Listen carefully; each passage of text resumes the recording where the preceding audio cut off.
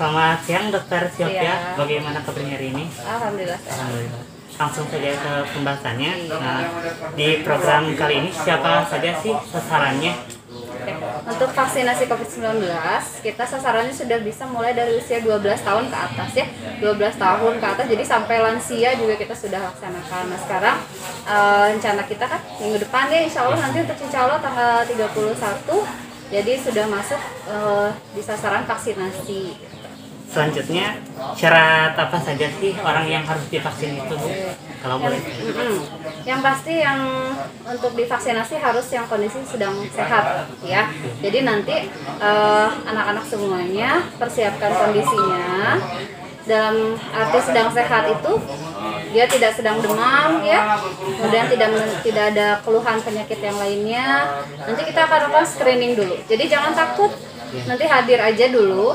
Nggak akan datang langsung kita suntik ya. Tapi nanti tetap melalui pemeriksaan pemeriksaan nanti teman-teman semua akan diukur tekanan darahnya kemudian nanti diperiksa suhunya ya.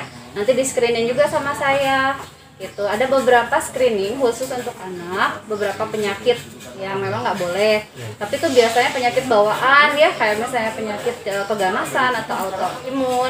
Biasanya teman-teman semua kalau memang nggak pernah berobat rutin ke dokter atau sampai dirawat di rumah sakit berarti kan artinya kondisinya sehat gitu. Jadi mudah-mudahan semuanya bisa divaksin. Ya jadi yang penting jangan takut datang aja dulu. Jadi kita pasti screening dulu. Kalau yang memang bisa kita lakukan vaksinasi divaksinasi. Kalau memang yang harus ditunda nanti karena suatu kondisi medis tertentu misalnya ketika di screening suhu dia suhunya lebih dari 37,5 artinya dia sudah mulai mau masuk demam berarti kita tunda dulu sampai dia sembuh gitu ya Lalu Bu, apakah program ini ada gelombang kayak gelombang satu atau gelombang Oh dua ya, gitu? untuk sementara karena memang stok vaksinnya ada 200 vial untuk 200 orang ya, du- 20 vial. Jadi satu vial itu untuk 10 orang. Artinya kalau kita dapat 20 vial alokasinya untuk SMK ini berarti sasarannya nanti 200 orang. Muridnya ya. Kalau boleh tahu nama vaksinnya apa Bu? Vaksin yang kita gunakan sekarang Sinovac, Coronavac, iya.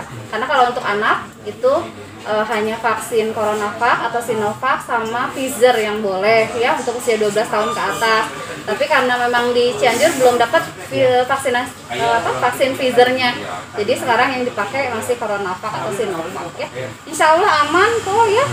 Ah, ah, teman-teman yang Cikalong tuh pasti udah ada kemarin kita di Neglasari eh, di desa vaksinasi ada beberapa yang memang eh, usia anak ketika saya tanya sekolahnya di mana? Di SMK Cikalong oh berarti udah mau ikut vaksinasi. Ya kemarin di desa Gudang juga ada yang dari SMK di sini.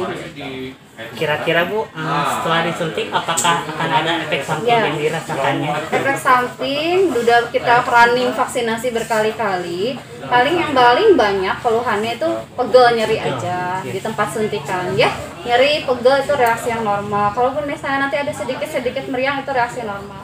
Karena kita akan memasukkan eh, produk vaksin ya. Produk asing ke dalam tubuh jadi nanti tubuh akan bereaksi untuk mengenali eh, yang dimasukkan itu.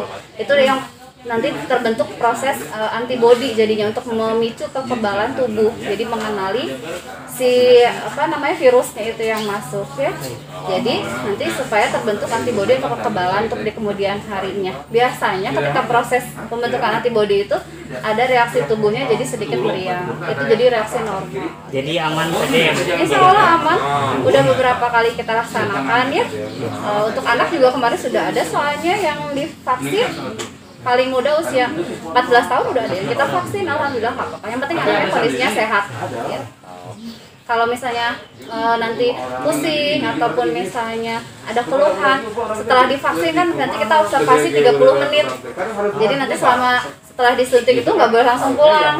Nanti diobservasi 30 menit kalau misalnya nggak ada keluhan baru boleh pulang kalau misalnya ada keluhan kita ada tim ya tim untuk penanganannya yang standby yang siaga gitu untuk membantu nanti anak-anak ya jadi jangan takut yang penting jangan takut Nah, ah, soalnya kalau udah takut duluan, jadinya keringet dingin. Ketika disuntik akhirnya, jadi baru timbul keluhan gitu.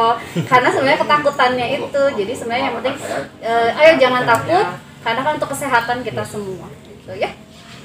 Yang terakhir Bu, hmm, harapannya Ibu tentang dilaksanakannya program ini. ke depannya?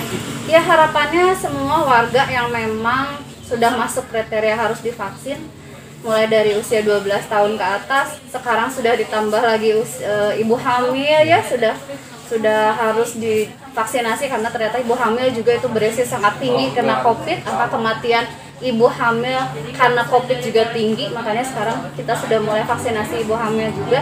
Jadi harapannya semua warga kalau mau cepat terbentuk uh, herd immunity ya kekebalan secara komunitas kita bisa cepat terbebas dari pandemi ya semuanya harus ikut vaksinasi. Itu salah satu cara yang paling efektif soalnya.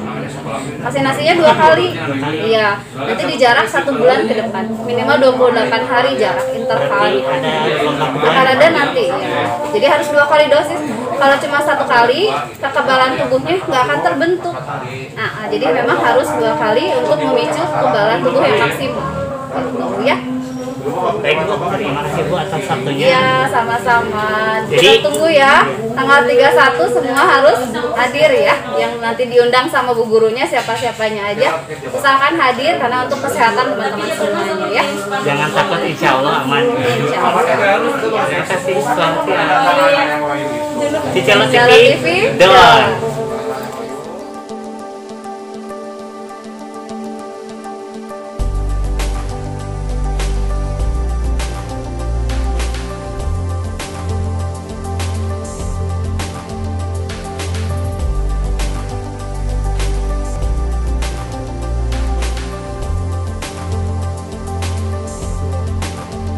Kami siswa dari SMK Negeri 1 Cikalong Kulon siap divaksin.